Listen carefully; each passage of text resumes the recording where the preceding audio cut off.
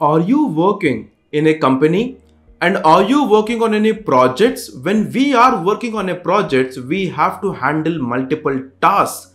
The tasks that need to be completed on time on particular date. So in order to see which employee or which team member is on what particular progress.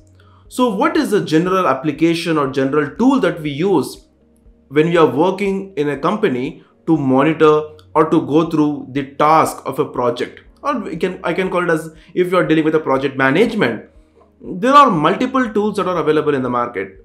For example I can give you as a Microsoft uh, project planner right? Microsoft planner. So we have this planner you know which is being used in multiple ways. But do you know that in Power BI we have a visual which will help us to go through and give us a complete visual analysis of how the project management is being done. So what is that particular visual? Hi, I'm M. Asif Hussain from KnowHow Academy. What are we going to learn in this video? We are going to learn and understand what is the use of Gantt chart in Power BI, where to find the Gantt chart in the Power BI desktop, and how to use it in Power BI desktop. By the end of this video, you could able to learn and get a very excellent idea on how we have to work on the Gantt chart and its properties. So watch till the end. My dear viewers, if I show you a data that I have it here, always remember that if we are working on a Gantt chart, so first we should know why this Gantt chart is used. This Gantt chart is used to understand the project planning, the task, the uh, time frame. So in order to know the status of the work, we use the Gantt chart and to use the visual as a Gantt chart to showcase our work. So now, so Gantt chart, we do not have it in the default visuals. We have to get it from a marketplace. So when I'm telling that this, we have to get it from a marketplace in a technical terminology, I can tell it as Gantt chart is a custom visual it is not a default visual. So my dear viewers, as you can see that here, all these visuals that you are seeing, these all are, are the default visuals. These are not the custom visuals. So we have to get the Gantt chart from the custom visual. So for this, I'm just clicking on more options and I have an option called get more visuals. So if I click on this get more visuals, we can see that there are n number of visuals that we have it here on the custom visuals. So who can access this custom visuals? Custom visuals are accessed by those who are having the Power BI license. Either you can consider the premium license or we can consider the pro license. So when you have the license, you can log in and you can use all these custom visuals. Now the point is that when I'm telling custom visuals, then what exactly is a custom visual? Apart from the default charts that we have, Power BI is having a separate custom visual section where we can get n number of animated charts, n number of visuals from a custom visual. Or I can tell it as a advanced visual. So now my dear viewers, as we all know that we are using uh, mobile phones, right? So either that might be Android phone or that might be Apple phone. So now when I'm using an Android phone, we have Play Store and when we are using Apple phone, we have App Store. So now in these two, if we would like to go and find some application or install some application, we go there and as soon as we open up our Play Store, as soon as we open up our App Store, we can see that there are n number of applications. Whichever application we want, we will search that and we will click on it. When we click on it, again you can see that the description about the application, the reviews about the application, the ratings about the application, few screenshots of that applications how to use and some description about it. Am I right? So uh, exactly in the same way, exactly as how we have the App Store and the Play Store and where we can see n number of applications in Power BI also, we have something called as custom visuals where we have n number of visuals.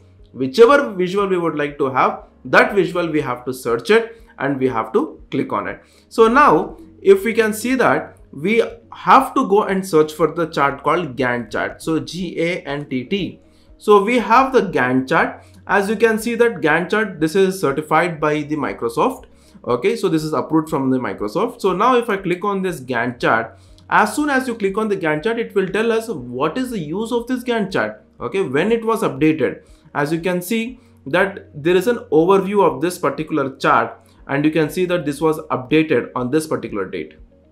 Okay? So why this chart is used? It is a type of bar chart to illustrate a schedule with time axis. All right so once we are here you can click on add. As soon as you click on add we will get the visual in our visual section. So from here we can go and access our gantt chart so before accessing this gantt chart it is very important for us to understand the data it is very important for us to understand the data so the data that we are working on to prepare to create a Gantt chart.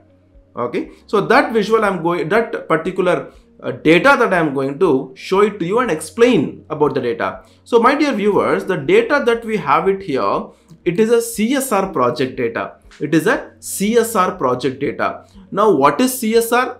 Corporate social responsibility. So what is meant by CSR? Corporate social responsibility. What exactly does this mean? So now the point is that in every organization, what happens is that there will be some section called as CSR, which they have to do it as part of uh, their uh, rules and regulations as per the organization. So what exactly happens in CSR is that as part of CSR activities, the organizations will go and do some social service. Social service. It might be any part of social service, they will do the social service. So that kind of data that we are going to see it here. So as you can see that the project that we have it, we have the CSR plantation data and uh, government school painting. They visit the government school and they have done some painting. So when this particular project was started, when this particular project was ended, so we have the start date, we have the end date. Now what is the project name? That project also we have it. And what are the tasks that we have for each kind of project that is also mentioned here and we have POC. POC is nothing but the point of contact. Okay. So who is the point of contact for this particular project? So that is also those employees information also we have it here and what is the progress of this particular project. So if it is completed, then it is one. If it is not started, then it is zero. If it is in progress, then uh, how much process uh, till it has completed and uh, how much it is remaining that we have it here.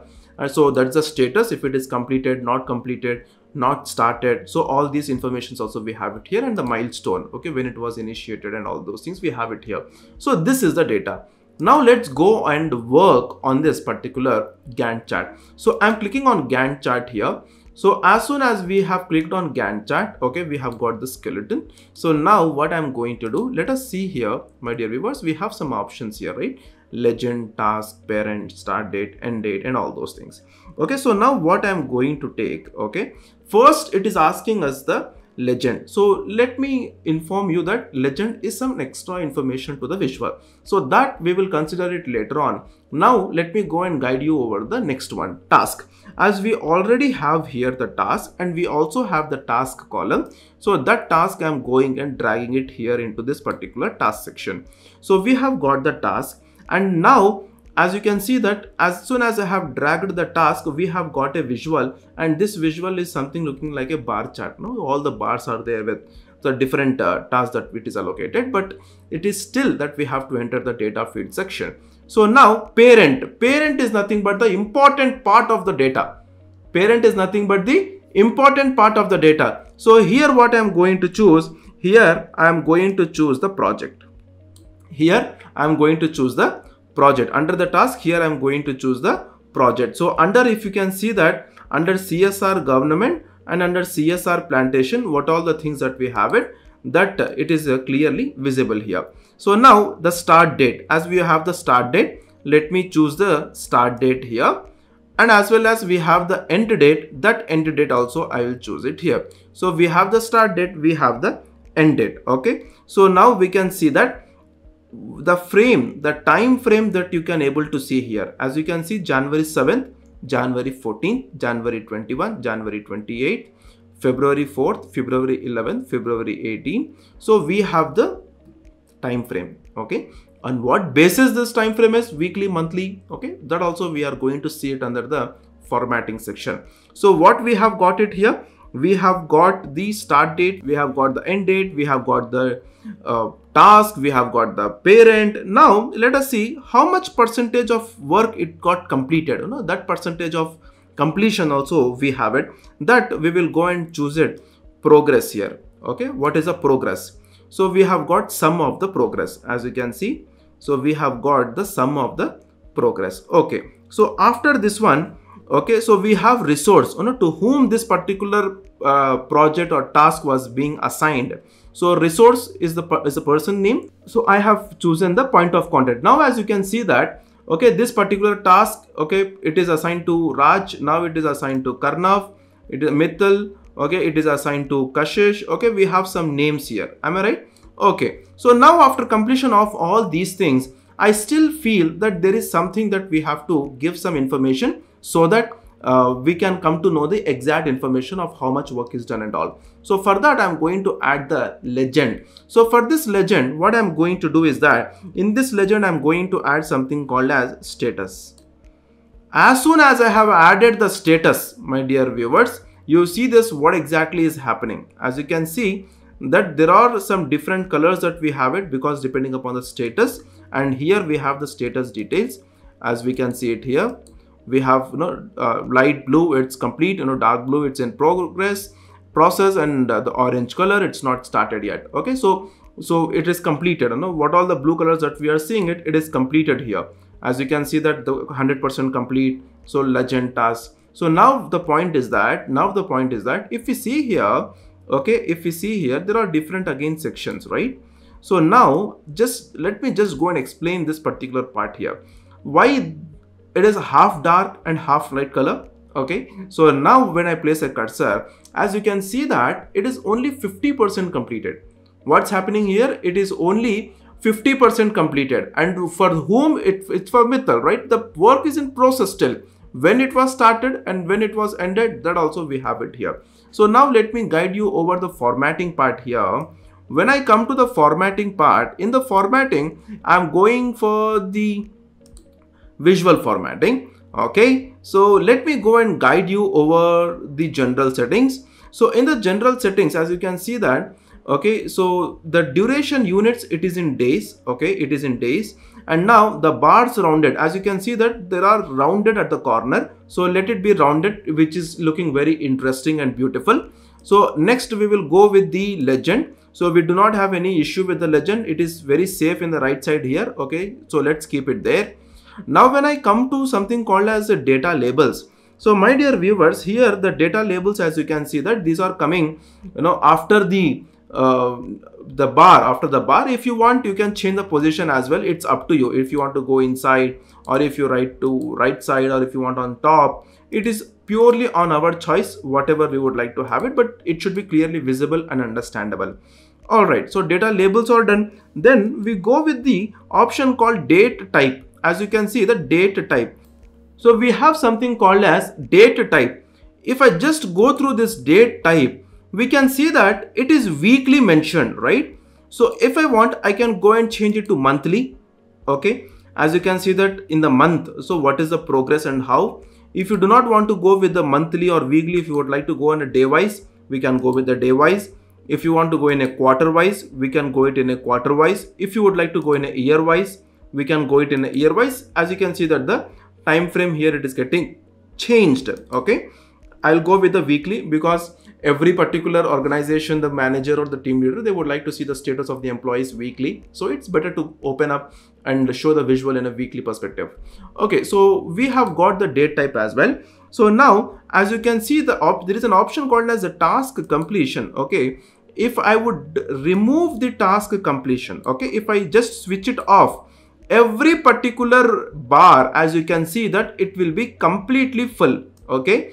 It will be completely full with the entire color. So there will be no difference. There will be no difference. So it is better to have the task completion because it will indicate us okay how much percentage of work it is completed. As you can see that spot ident okay the legend. So every information it will be clearly visible with this particular task completion So these are the different perspectives that we have to consider whenever we are trying to create the Gantt chart. And here, if I would like to just, you know, close it up, so everything will come in a one single line. It's of no use to show it. You can elaborate it. Okay, that's not a problem. You can elaborate it. Uh, till how much particular uh, point that we have completed the task and all that it is clearly visible in the taskbar okay that is very clear in the taskbar task completion. So if you would like to off it yeah it's again the different perspective but we could not able to predict anything from this particular point. So my dear viewers as you can see that when these informations we are able to show it in a Gantt chart we can see how which employee has completed how much amount of work, what percentage of work it is completed, and what is the probable step that we have to take it in order to show or give some guidelines over uh, completing it on time. That is the suggestion that we can give to our particular team members in an organization. So in this video, we have learned what exactly is a Gantt chart. We have seen from where we have to get the Gantt chart and we have also learned how to work on a Gantt chart in Power BI. Thank you for choosing KnowHow Academy as your source for IT knowledge. We are always here to help you to navigate the tech world. If you have any questions, do not hesitate to reach out. It's been a pleasure sharing this information with you. Stay curious and keep learning.